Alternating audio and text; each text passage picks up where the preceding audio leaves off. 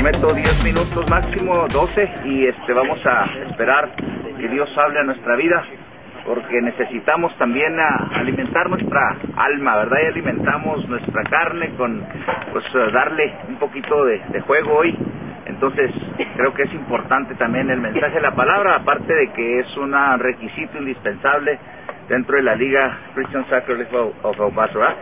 Dice la palabra de Dios allá en Daniel capítulo 1, dice, en el año tercero del reinado de Joacim, rey de Judá, vino Nabucodonosor, rey de Babilonia, a Jerusalén, y la sitió.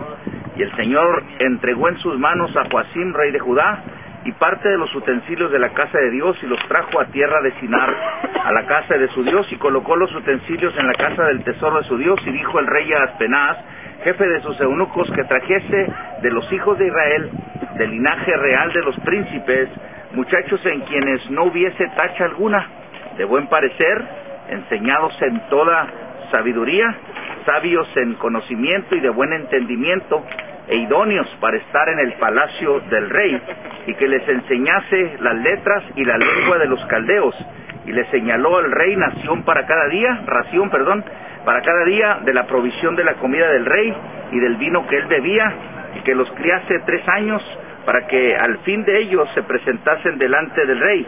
Entre estos estaban Daniel, Ananías, Misael y Azarías de los hijos de Judá. A estos el jefe de los eunucos puso por nombre a Daniel Belsasar, Ananías Sadrach, a Misael Mesac y a Azarías Abednego. Y Daniel propuso en su corazón no contaminarse con la porción de la comida del rey, ni con el vino que él bebía. Pidió por tanto al jefe de los eunucos que no se le obligase a contaminarse, y puso Dios a Daniel en gracia y en buena voluntad con el jefe de los eunucos. Esta, esta historia es acerca de un cumplimiento de una profecía que Dios tenía para el pueblo de Israel. Cuando Dios promete, cuando Dios profetiza, cuando Dios da una palabra, la palabra de Dios se cumple en el tiempo determinado que Él tiene establecido.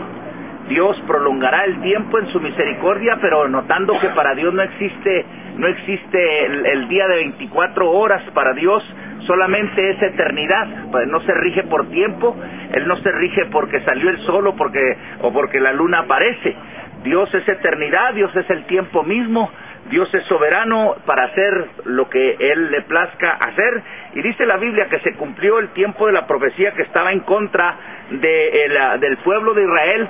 dice que el rey en aquel entonces, Joacim, se levantó en contra de Nabucodonosor, un rey babilónico que venía arrasando con todas las naciones. Y dice que este que este rey Joacim cometió eh, pues el error y, y, se cumplió la profecía de Dios que iban a caer presos. Y dice la Biblia que Dios fue el que dio precisamente cumplimiento a su palabra. Entonces nosotros tenemos que entender que Dios va a dar cumplimiento a su palabra, no importa cómo te llames, no importa cómo te apellides, cuando Dios da una, cuando Dios da un orden, cuando Dios da un tiempo, se va a cumplir tarde que temprano. Y dice la palabra de Dios que entonces tomaron presos a todos, a todos los uh, uh, niños, a todos los jóvenes, a todos los hombres y mujeres del pueblo de Israel y dice la Biblia que entonces fue cuando Nabucodonosor, que era el principal, el rey de, de, Babilonia, Nabucodonosor dijo que necesitaba que se escogiera jóvenes, escúcheme lo que quiere el diablo, jóvenes que tengan características, número uno, para hacerlos a como él cree que debe ser. El diablo quiere hacer de ti lo que Él quiere que tú no hagas, o sea, que tú no pienses que debas hacer. ¿Sí? ¿Qué le pidió el rey a los jóvenes que tuvieran para estar en el palacio de Él? Fíjese, les pidió que fueran intachables, les pidió que tuvieran buen parecer, que fueran guapos, así que no necesariamente porque eres guapo significa que te salvaste. Enseñados en toda sabiduría, en todo conocimiento, o sea que tengas mucha chiluca, que estés bien, bien, bien entregado al conocimiento de la tecnología, que tengas buen seso para que me entiendas, ¿sí? Y dice, sabios en ciencia y de buen entendimiento, que seas una persona que tenga bien cimentado el humanismo dentro de ti, que tengas bien cimentado la carnalidad dentro de ti, todo lo que enseña el mundo, ¿verdad? Lo que quiere el diablo es eso, idóneos para estar en el palacio del rey. Mire, al diablo no le conviene que tú seas un hombre apartado de la cerveza, apartado del sexo ilícito, al diablo no le conviene que tú seas un hombre apartado de la marihuana, de las drogas, de las malas compañías y los disparates. Al diablo no le conviene que tú seas una persona honesta, transparente, que no robes a tu a tu jefe, que no que no seas una persona que trate de cohechar, una persona que admite el fraude. Al diablo no le conviene. Por eso él trata de enseñar en el mundo de él cómo debes de vestirte, cómo debes de hablar, porque si te fijas ahorita en, ahorita leímos que dice que era necesario que entendieran el lenguaje de ellos si tú quieres estar bien con una ganga, tienes que hablar como ellos, tienes que vestir como ellos, tienes que hacer lo que ellos hacen.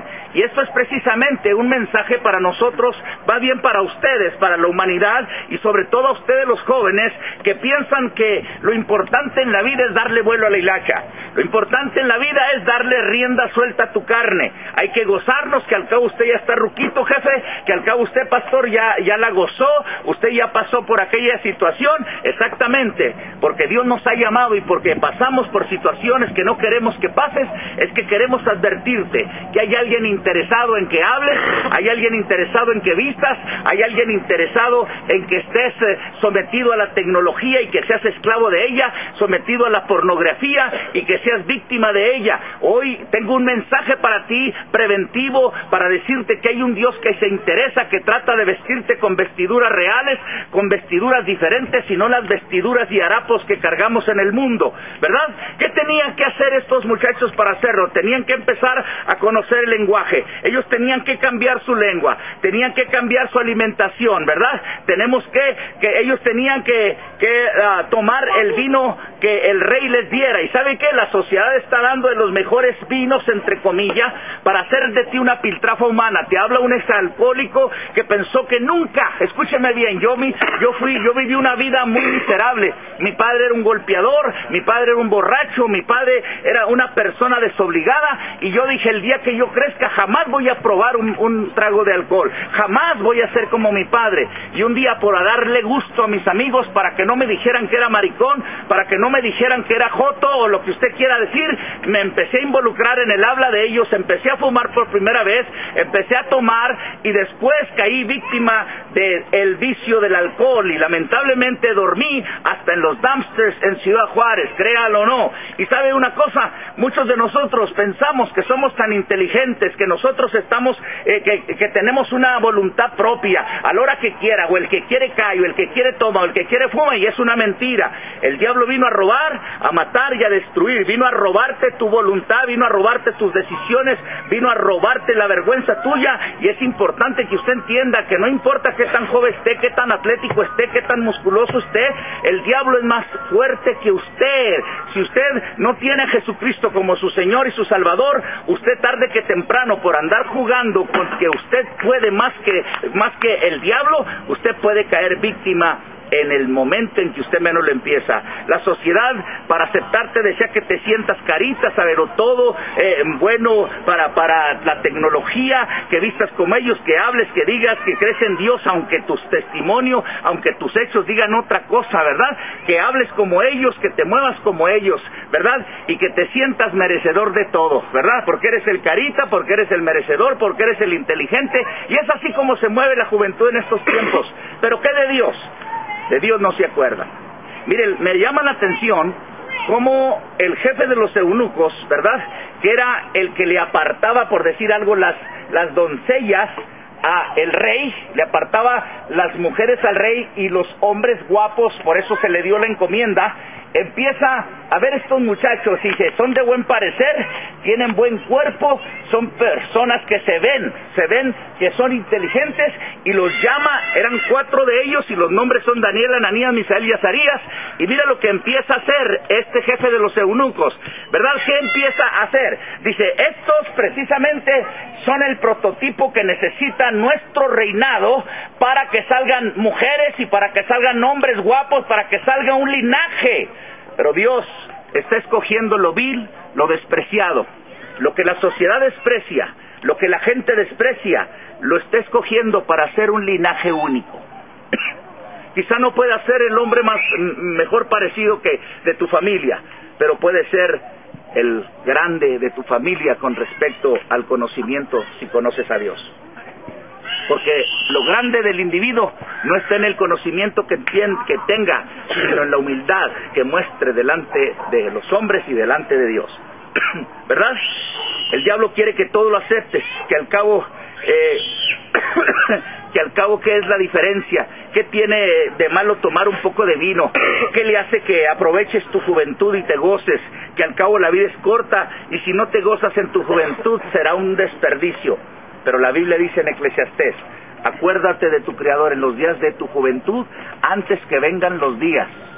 Yo un día estuve como tú y ahora me duele la cintura, me duele aquí, me duele allá, ¿sí?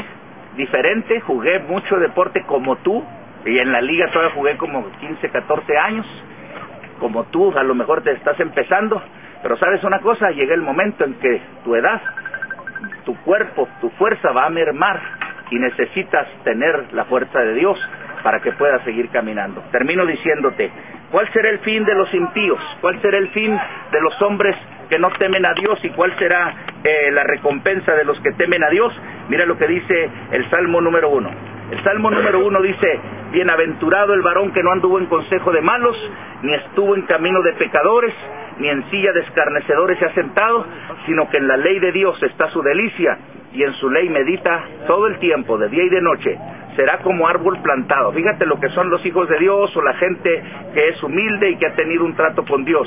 Será como árbol plantado junto a corrientes de agua que da su fruto a su tiempo y su hoja no cae. Y todo lo que hace, todo lo que hagas va a prosperar. y luego aquí viene lo contrario. No así los malos, que son como el tamo que arrebata el viento, por tanto no se levantarán los malos en el juicio ni los pecadores en la congregación de los justos, de los justos, porque Jehová conoce el camino de los justos, mas la senda de los malos va a perecer. O sea, todo te va a salir mal. No tendrá respaldo absolutamente de Dios y otra cosa. Al final vas a tener que estar cara a cara con Dios y no habrá excusa de decir, nunca escuché un mensaje que me advirtiera de que había un Dios y de que había un diablo, de que había un cielo y que había un infierno. La decisión, joven, es suya. Tome la decisión correcta. La decisión que hoy tome será lo que venga a mostrarse en su futuro. Si es una decisión incorrecta, usted pagará lamentablemente consecuencias desagradables. Pero si es la decisión correcta, usted disfrutará de haber tomado la decisión correcta de es, de es caminar con Dios. Amén. Cierre sus ojos y quiero que ponga su mano en su corazón. Termino diciendo estas palabras, repita conmigo, Señor Jesucristo, te acepto en mi corazón como mi Señor y como mi Salvador. Estoy aquí reconociendo que sin ti no soy nada. Perdona mis pecados, escribe mi, mi nombre en el libro de la vida y ayúdame a seguirte, a entender tu palabra y lléname de tu espíritu en el nombre de Jesús. Si usted hizo esta oración ahí en su casa, como lo hicieron aquí los muchachos, inicia una nueva etapa en su vida. Busque una Biblia, busque una iglesia y dígale a Dios hacia dónde se tiene que dirigir para congregarse. Dios lo va a guiar para que sea alimentado de la palabra de Dios. Soy el pastor Barragán, Dios le bendiga, muchas gracias. Dele un aplauso a Dios, hermano.